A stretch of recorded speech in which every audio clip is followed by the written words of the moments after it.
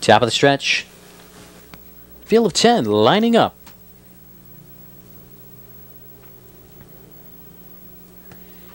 Here they come.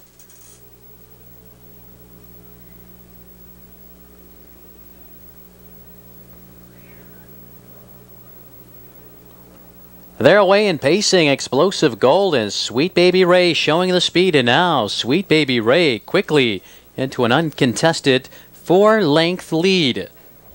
Explosive Gold racing in second, three lengths back to Fox Valley Cosmic.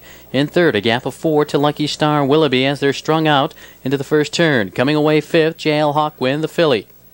A length back to Broadway Exclusive, a length and a half Schoolboy.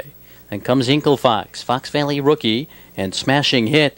They're off that first quarter, 28 and 3. Hiteman has his hands full with Sweet Baby Ray as he leads the way by two Explosive Gold. Right in behind and closing the gap. Three lengths back to Fox Valley Cosmic. Then a break of six or so to Lucky Star Willoughby. JL Hawkwind. And behind her is Broadway Exclusive. Comes Schoolboy. Inkle Fox on the inside, Fox Valley Rookie. And far back smashing hit. Then half 57 and 3. Sweet Baby Ray in command of the fractions. Leads by two over Explosive Gold. Fox Valley Cosmic racing in third. JL Hawkwind now picks up the top three as she takes over fourth away from Lucky Star Willoughby. Top of the stretch. Sweet Baby Ray looking to go all the way. It's Sweet Baby Ray out there by three. Explosive Gold and JL Hawkwind. 126 and three.